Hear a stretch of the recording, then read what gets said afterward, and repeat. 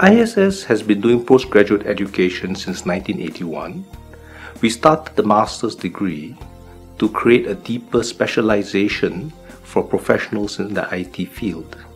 It also serves as a renewal of skills for people who have been in the IT industry for several years. The curriculum, obviously over the many years that we've been teaching the MTech, has been continuously refreshed.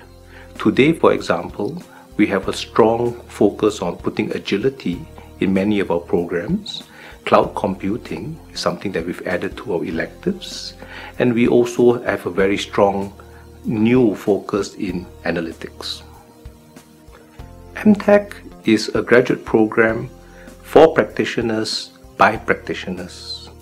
Our staff are people who have many years of experience in industry they have lived through the wars there.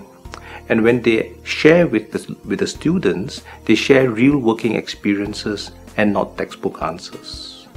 Also, we require all our students to go through an industry project, one where there are real deliverables and real pain in the industry.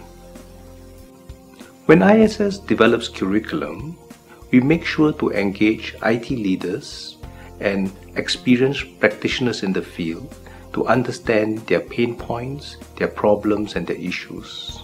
We want to ensure that the use of the curriculum or the use of the technologies that we teach them cover what is needed to do the job from beginning to end.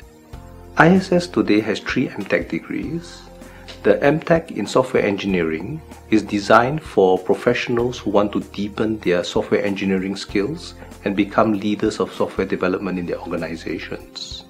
The second degree in knowledge engineering is designed for people who will develop intelligent systems that will be of strategic importance to their organizations.